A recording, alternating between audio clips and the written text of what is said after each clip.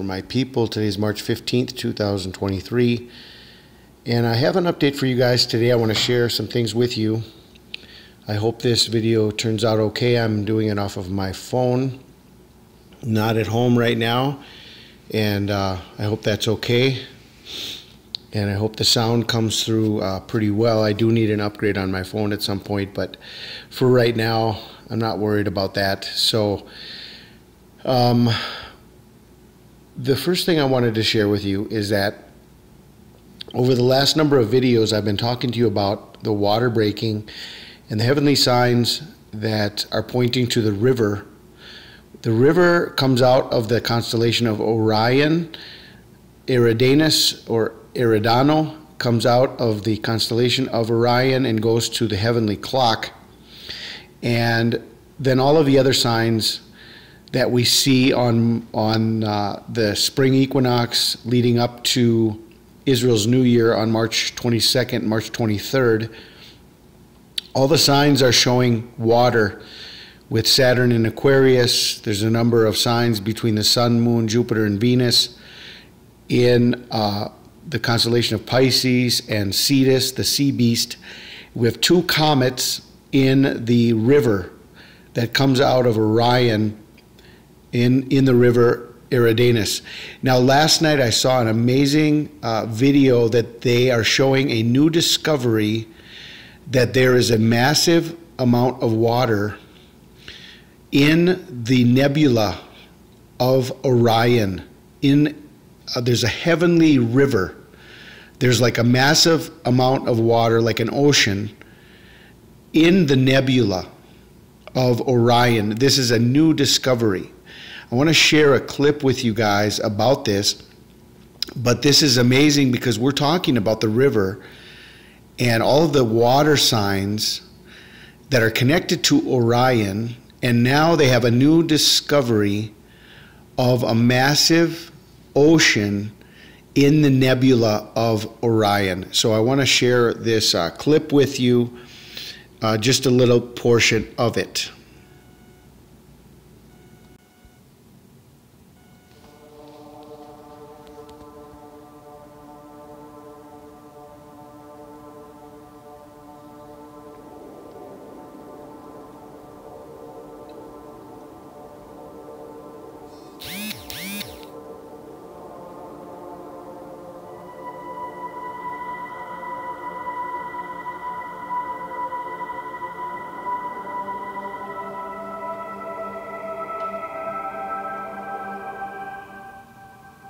Astronomers studying the formation of a distant star have discovered a cloud of water in space.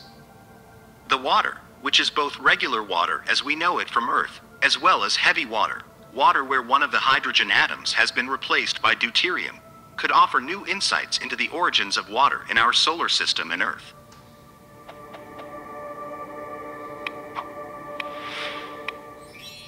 This discovery is also intriguing because it's the first time that astronomers have been able to measure the composition of water in a protoplanetary disk.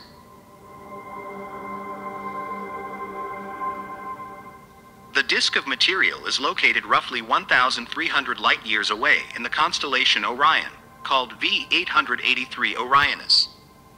On top of teaching us more about the origin of water in our solar system, the water cloud astronomers found in space also teaches us more about star formation. According to researchers involved with a new paper, being able to measure the amount of water in a protoplanetary disk will finally help us fill in the gaps of what happens between the protostar phase and comets that are created from the leftovers of the planet formations.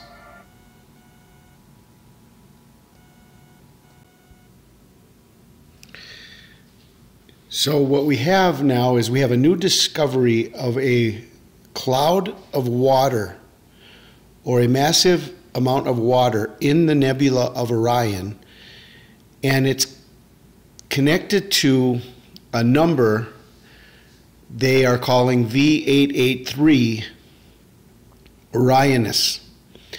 Now I looked up the the number 883 in the Hebrew Strong's Concordance. And this is really, really amazing. 883 in the Strong's Hebrew Concordance is Bir Lahai Roi, Bir Lahai Roi, and this is the well of living water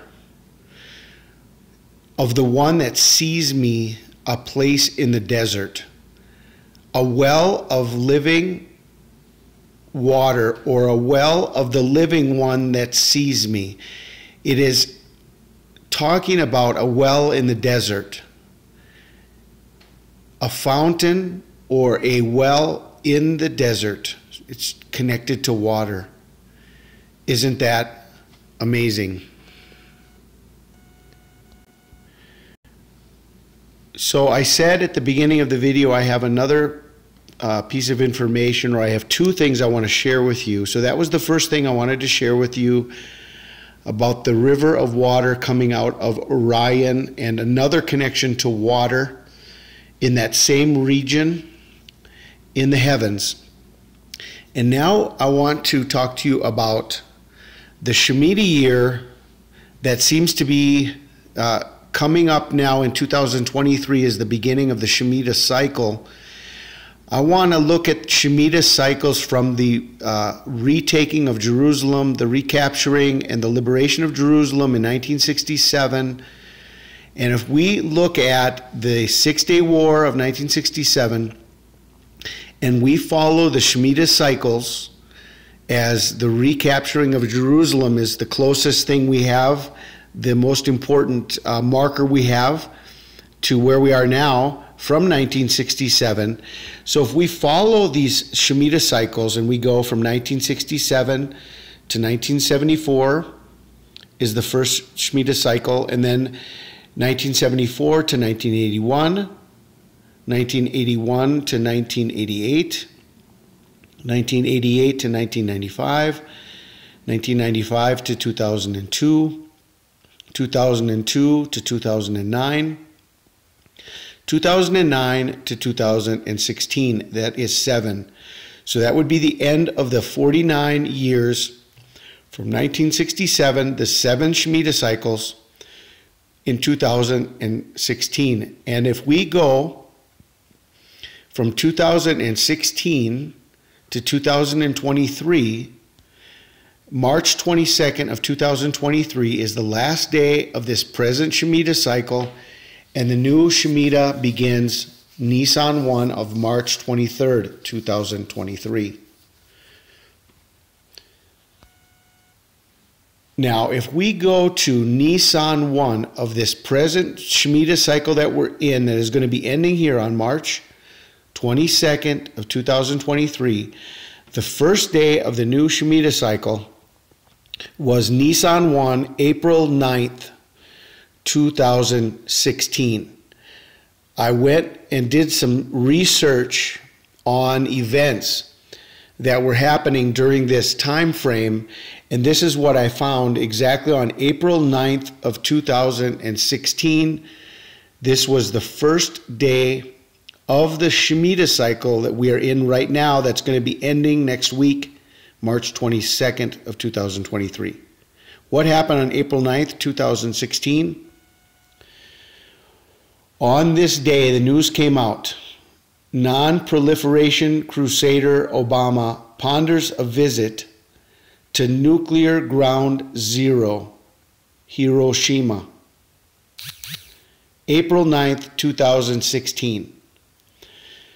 So on the first day Nisan 1 of this present Shemitah cycle, Barack Obama announces a visit to nuclear ground zero.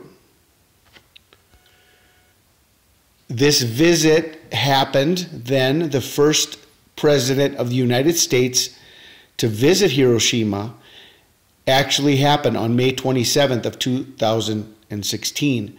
But the announcement came exactly on the first day of this Shemitah cycle, Nisan 1, April 9th, 2016. Now, I want to go back to the boom video that Barack Obama did with Queen Elizabeth. And I want to look at the date connection and the time connection to where we are coming up to the end of this Shemitah cycle. This boom video happened on April 29th, 2016. April 29th of 2016 was the boom video with the Invictus Games of Barack Obama. This was a biblical seven years, exactly 2,520 days, or 1,260 plus 1,260 days, taking us to March 23rd, 2023. Seven years to the day to Nisan 1 and the new Shemitah cycle that is going to begin here on March 23rd of 2023. Now, what is very interesting about this is the connection not only to the boom video that Barack Obama did with Queen Elizabeth, which was re released on April 29th of 2016, the very next day, April 30th of 2016, was Barack Obama's final correspondence dinner when he said at the end of his speech, Obama out, and he dropped the mic. And this was the same movement in the boom video. The boom, the dropping the mic. Okay. So we're talking about seven years to the day from the boom video, and the very next day is Obama out, drop the mic, going to March 23rd or March 24th. This is the seven year marker from Obama's last correspondence dinner where he said goodbye to everybody. Obama out, dropped the mic. This was on the Hebrew calendar the seventh day of Passover. The seventh, the eighth day of Passover. The seventh day of the Omer, but the eighth day of Passover. This was the end of the Passover season, the last day. So it was corresponding also on the Hebrew calendar from the last day of Passover, April 30th, 2016 Obama out, dropped the mic, seven years to the day, Nisan 1,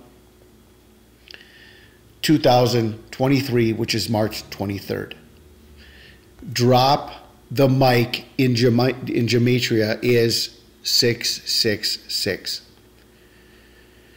So, this is what I wanted to share with you all of this information. We have all of the signs in water this is leading up. It seems like this is the breaking of the water. This is Revelation chapter 12 after the dragon sign, which we saw with Comet E3 ZTF, how the comet came through the, the tail of the dragon, and now all of the signs are pointing to the water. And this is the birth of the woman, the breaking of the water. It's also the flood that is coming and the and the uh, the enemy will come in like a flood, but there there will be a flood that will come that will take the woman to safety in the desert, just like it says, Bir Lahai Roi, well of the living one that sees me, a place in the desert, and all of this is also connected to the constellation of Orion. So I wanted to put all of this together for you just to share uh, from my perspective. I hope this turns out well here on my phone. Have a wonderful day. I'll be in touch as soon as I can.